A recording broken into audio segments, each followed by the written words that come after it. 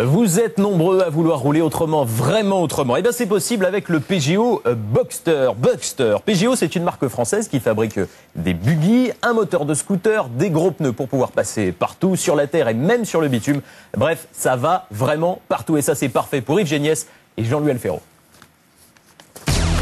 La tendance actuelle est au véhicule de loisirs et le Bug Racer 500 est l'exemple type de l'engin sans réelle prétention, si ce n'est celle de se faire plaisir en tout terrain.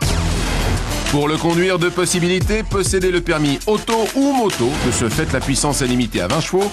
Dur, dur pour un buggy. Ce buggy, euh, c'est une dénomination euh, effectivement tirée du passé, euh, des années 70, mais on s'adresse plutôt aux gens qui roulent en quad, tout simplement parce qu'il est rentré dans cette catégorie légale d'homologation de quadricycle à moteur lourd. C'est pas tous les jours qu'on peut s'amuser. Là, on est en plein désert marocain. On dispose du buggy un peu évolué, nouvelle suspension, avec des cardans donc variables, coulissants, un moteur un peu plus puissant aussi. On démarre.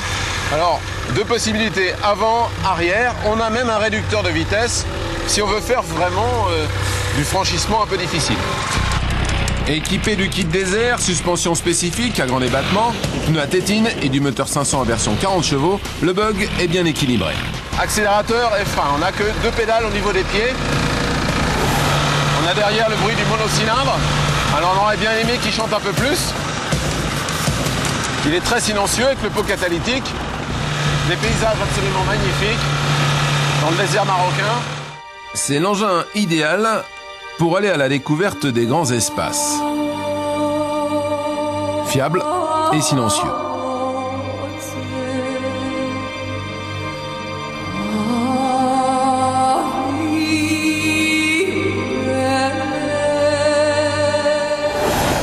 Rapport au modèle 250, il a énormément évolué au niveau du châssis. On est bien installé, beaucoup plus confortable, des suspensions à grand débattement, des pneus basse pression comme les quads. Bon, c'est un engin fait pour jouer. Sur tout type de terrain, un seul mot, plaisir. Ça s'appelle du franchissement là. C'est presque du trial. Alors comme on a des pneus basse pression, mais ben, on a une bonne adhérence. Et on y va.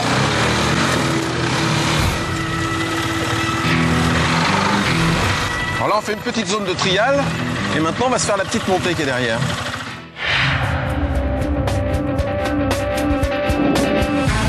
Le 500 monocylindre n'est pas un foudre de guerre, mais avec un bon élan, il est prêt à s'aventurer presque partout. Ça s'appelle monter facilement. Hein. J'ai pas bien compris ce que tu disais. Euh, je crois que comme je suis avec Yves je prendre une assurance vie. Je vais appeler euh, tout de suite mon assureur. C'est super, sublime. Il y a la montée impossible et puis la descente, bah, automatiquement, puisqu'on est monté, on doit pouvoir descendre. Comme il est dépourvu de boîte de vitesse, en descente, il faut jouer avec les freins pour ne pas se faire embarquer. Le Begrasser est un beau petit jouet bénéficiant d'un châssis efficace. J'aurais apprécié par contre un moteur plus musclé. Oh, il est certes un peu cher, parce que la version idéale, eh bien, c'est celle-là, celle avec les options. Et encore, il nous manque le pare-brise. Et les options ne manquent pas, croyez-moi. Conçu pour le loisir, le Bug Racer vous permettra de vous faire plaisir hors des sentiers battus, sans oublier que vous avez aussi la possibilité de l'utiliser sur route.